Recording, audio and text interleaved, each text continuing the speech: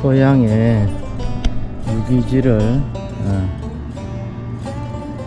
비료를 만들기 위하여 이 보리를 보리를 어, 4kg 4kg 내봉을 어, 여기다 뿌려서 로타리를 해서 보리를 키워 볼까 합니다.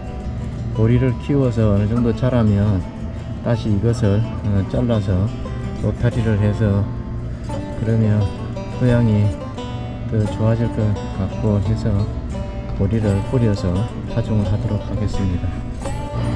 어, 유기농으로 재배할 때 사실 사용하려고 구매해 놨던 것인데 사용을 하지를 못해서 지금 뿌립니다. 보리는 2019년도 산이지만 이 세월이 좀 지나도 보리는 싹이 잘 돋습니다. 그래서 보리를 이 보리를 이용을 해서 어, 유- 유기물을 만들어서 제공하고자 합니다. 이러한 보리입니다.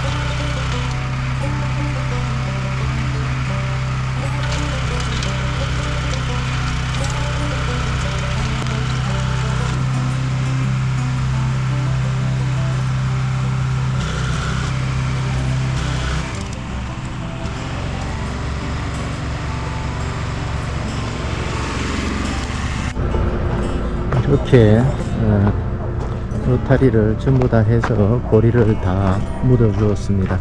긴 영상을 끝까지 시청해 주셔서 감사합니다. 조금이나마 도움이 되었으면 합니다.